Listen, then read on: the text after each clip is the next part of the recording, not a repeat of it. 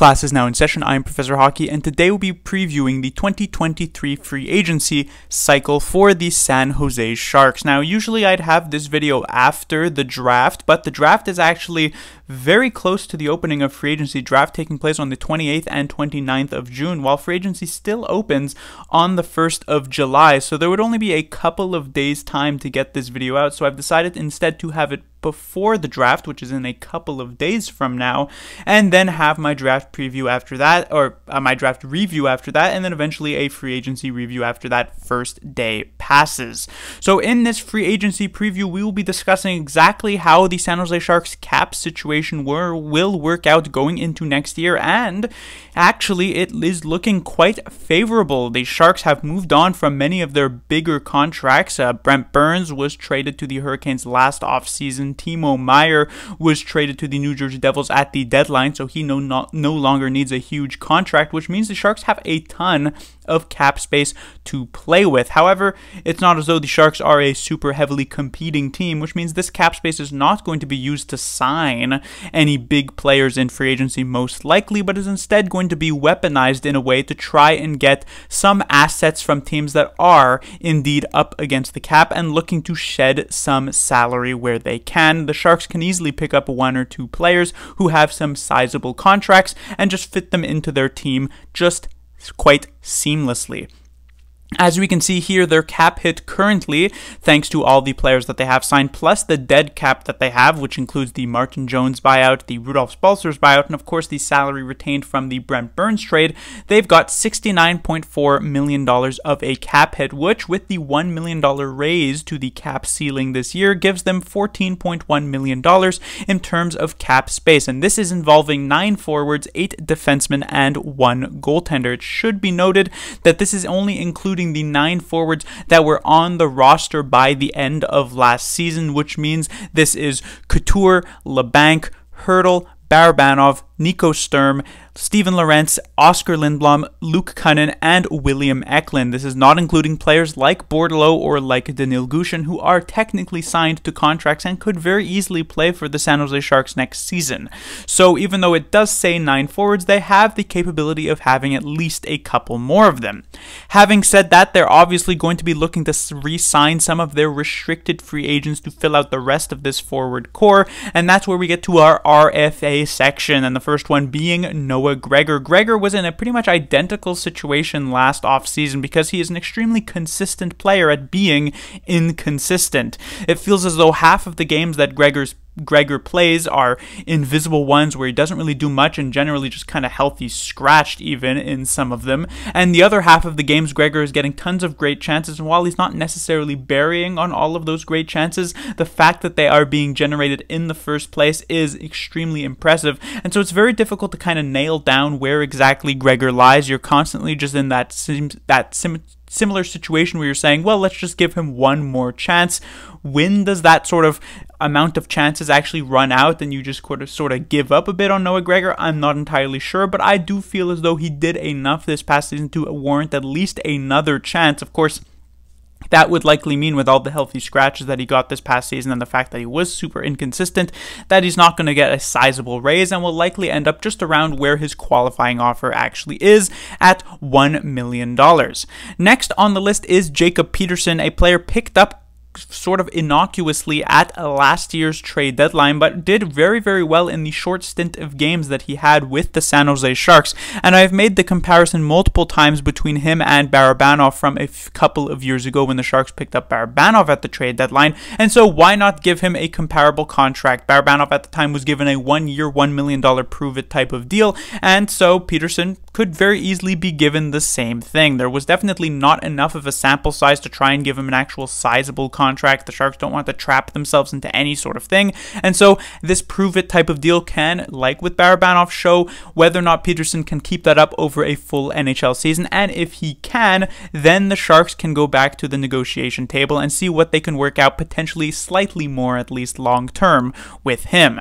Next is Fabian Zetterlund. Now, I'll, you'll see here that I actually have him coming in at slightly higher dollar value than both Gregor and Peterson, and that may come as a surprise because it is no question that both Gregor and Peterson were better than Zetterlund in his time with the San Jose Sharks. However, it should be noted that although Gregor and Peterson are in this similar camp, but Zetterlund has arbitration rights and he has sort of an argument to get at least a bit more money because while he was really bad with the San Jose Sharks, he was actually pretty decent with the New Jersey Devils prior to that Timo Meier trade was on pace for a good 35 to 40 points last season and that likely would have earned him at least a, you know, 2 2.5 million dollar bridge type of deal with the New Jersey Devils. However, when he got traded to San Jose, he fell off a cliff massively, which you would make him think just be worth like league minimum. But I imagine it'll even out and he'll come in at around 1.25, and the Sharks will absolutely be willing to sign that, mostly because they want to avoid the embarrassment of having specifically targeted Zetterlund in that Meier trade and then immediately letting him leave after 20 bad games. And so generally he should be back and probably come in at around 1.25. Still a difficult contract to predict. He could very well come in at around that 1 million and he could even potentially get slightly more more than this as well, because indeed, how much is that previous experience with the Devils going to be factored in? Then, when it comes to a couple of these other restricted free agents like Svechnikov and Gadjovich, both of these players are extremely replaceable if they do get brought back, which is technically possible. In particular, I would say with Svechnikov, they would likely be brought back at league minimum, but it feels as though it's kind of just time to move on from these couple of players. Svechnikov was nice for the one year he was here. Gadjovich has been here for a couple of years and he was okay but the Sharks have some younger blood coming into the lineup, and you don't really want Svechnikov or Gadjovich standing in their way. So while I definitely don't think they're necessarily completely goners from the San Jose Sharks, because again, Grier can do anything he wants. He is the general manager, but I would feel as though these time these two players have had their time run out here in San Jose. And then finally, the last RFA I'm going to talk about here is actually Martin Kaut, who likely would also be coming in at league minimum, like with Svechnikov and Gadjovich. But while those two, I feel as though could, are easily dispensable type of players, I feel as though Kaut could be given another opportunity here. In the very few games that he played last season, he was at the very least somewhat decent. And as a restricted free agent, you could easily just sort of have him either buried in the minors with the Barracuda if things don't work out with the NHL, but also coming up here every once in a while to get some games to see how he works out. So probably a player who you can give a contract to, but I certainly won't cry if he ends up getting moved on from as well. However, with all of these restricted free agents, even though you can definitely make a 12 forward roster with a couple of extras on top of that, I feel as though Mike Grier, especially with the cap space that the Sharks have, will look to try and pick up one of these veteran type of bottom six players like he just sort of loves and the Sharks have gone for in these past couple of seasons. On top of that, it also makes for decent trade deadline bait. You pick them up essentially for free at free agency, and then you can trade them at the deadline for like maybe maybe a sixth round pick or something that is technically just a free asset for yourself. And so, taking a look at the unrestricted free agent class, there are some options for those bottom six players. Of course, these are not all of them. This is not an exhaustive list, and it's technically possible that the Sharks either go for someone not on this list or just nobody at all. But here we'll start off with Nick Bonino, certainly an option that the Sharks can bring back. The organization is, of course, very familiar with him since he's been with them for the past couple of seasons before being traded at the deadline to the Pittsburgh Penguins. And of course, they also very much love Nick Bonino for whatever reason, and he's given decent minion, uh, minutes even if he does come back. So could be an option. Ryan Reaves as well. I know a lot of Sharks fans obviously aren't a huge fan of Ryan Reaves due to his time with the Vegas Golden Knights, but he does fit the bill as the type of player that Mike Grier would want to get. Bottom six type of guy could get sort of into the scraps, which, especially if you're replacing Yona Gadjovich, could be very helpful for the San Jose Sharks. And then a couple of other players coming in at slightly lower value, maybe around 1 million, would be Cogliano, another former San Jose Shark from a couple of years ago when he was traded to the Avalanche at the trade deadline, as well as Darren Helm, another former Avalanche player. dealt with some injuries this past season, may want to go with slightly more of a competing team, but also a veteran option for the San Jose Sharks for that fourth line. It should be mentioned because a lot of people might be looking at this and saying, well, why would any of these players actually want to sign with the Sharks if they know that they're going to be bad? Well, there are multitude multitude of reasons for why that may be. The first one, you'll likely get much more playing time with San Jose than any other team that you might actually sign for. You can sign with a competitive team and hope to get a crack at that Stanley Cup, but let's say you're Nick Bonino, you might get like 14, 15 minutes of time on ice per night with San Jose, while with another team you could potentially be a healthy scratch, and even if in the lineup, getting like 10 minutes of night on the fourth line. So if you value actually playing the game, you're probably better off with the Sharks than any other team, or you know, most other teams, I guess you could say. On top of that, the Sharks have the ability to offer more money. A very competitive team will be likely right up against the cap, and if they want to sign Nick Bonino, they're probably saying, like, hey, take league minimum or just sort of we can't sign you. But the Sharks can say, hey, you know what? You want a 1.5? Why not? You want two? I guess we could do that as well. It's a situation where the Sharks have a lot more freedom, and if a player wants to get money, this is an obviously solid option for themselves. And then finally, the final reason is these players may not have any other option, especially when it comes to a player like Darren Helm or Andrew Cogliano, players right near the end of their career who aren't necessarily super excitable for some of these contending teams. The San Jose Sharks may very well be one of, if not their only offer this offseason. And if you still want to play hockey, you gotta take what you can get, and so they could very well end up with San Jose. On top of that, it is not just forwards that the Sharks will be looking to address a bit, at least in unrestricted free agency, also goaltenders, which is probably going to be an even greater priority because with the departure of James Reimer and the fact that the Sharks will not be re signing him, they only actually have one sort of NHL caliber, although barely NHL caliber goaltender with Kaapo Kähkönen. And while they could technically bring up like Makiniemi to be the backup goaltender, the fact is that the Sharks will probably want like more of a 1A, 1B type of situation because again, Kaapo Is not a good goaltender. And is Makiniemi really ready for that type of responsibility? Probably not. So the Sharks will likely look for more of a veteran presence in unrestricted free agency. There are a few options. I've outlined a couple here. One of them, former Rangers backup goaltender Jaroslav Halak, very much near the end of his career, but still a decent goaltender. Uh, will he be able to handle the potential uh, rigorous schedule if he ends up getting like 35, 40 games by outperforming Kähkönen. And I'm not entirely sure. That would obviously be a conversation for Mike Grier to have with Halak, but is an option. And then maybe a slightly more viable one because is more used to the heavier workload and slightly younger, though still rather old, is Cam Talbot. Was a starter with the Edmonton Oilers for a while and then with the Minnesota Wild. And then last year it was with uh, the Ottawa Senators if he's willing to take on more of a 1A, 1B, which at this point in his career is probably the best he can get, definitely could come to the San Jose Sharks for a couple of million dollars.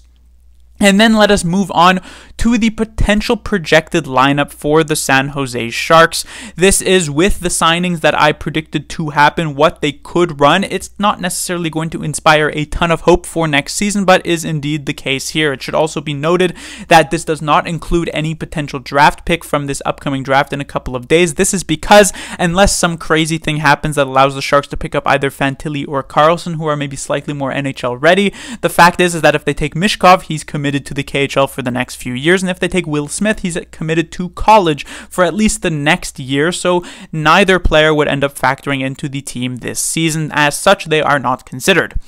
Let us move on to this lineup. Eklund, Hertl, and Peterson as that top line. Labanc, Couture, and Barabanov. Then Luke Kunin with Sturm and Gregor. And finally, a fourth line of Lorentz, Lindblom, and Zetterlund. Calling in a couple of other sort of potential backup players. That would be Cogliano, who I predicted to be a potential unrestricted free agent signing for the Sharks. And of course, Thomas Bordeleau. As much as I would love to see Bordeleau in the actual starting 12, his short stint at the end of last season did not really inspire a ton of confidence, which means he would need a very, very strong training camp and preseason to actually earn himself a spot in the starting lineup come game one of the regular season. Otherwise, he might just be that 13th forward, but likely more so an AHL option for the San Jose Sharks.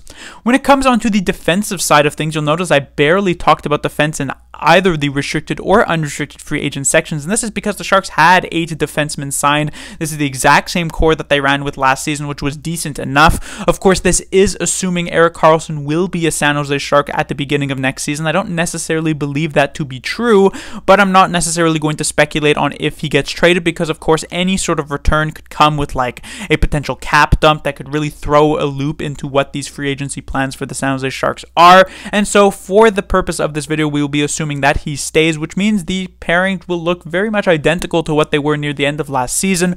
Karlsson Thrun, Vlasic Benning, MacDonald Ferraro, with Simek as a seventh option, as well as Knyzhov as an eighth option on top of that. And then goaltending wise, of course, Kahkonen, and then the aforementioned unrestricted free agent potential signing in Jaroslav Halak or Cam Talbot or even like a Jonathan Quick, depending on who the Sharks try to go with there. And that will give the Sharks a cap hit of about $75 million, leaving them with a cap space of about $8.5 million. And that is before any, likely, like I said, any Karlsson trade. So $8.5 million is a lot to play with. If Karlsson gets traded, that suddenly like almost doubles likely depending on the salary retention that would come with a trade like that, which means the Sharks will have tons and tons of options to try and get some contracts from other teams, and we shall see what they end up doing. But indeed, if you take a look at the lineup here that the Sharks will likely be heading into the season with, or at least something like this, it's not inspiring a ton of confidence